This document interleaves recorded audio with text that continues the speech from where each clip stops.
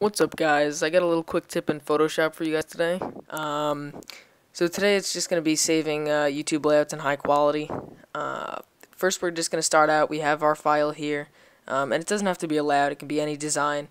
Uh, you're going to get your layout here, make sure it's finalized and everything. You're going to come up to here, File, Save for Web and Devices.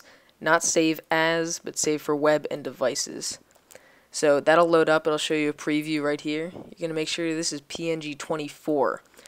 Uh, if it if you select PNG24 and this goes over 1M down here, this is the file size. Uh, mine's 935K, so we're good. Um, if it goes over that though, change this to PNG8.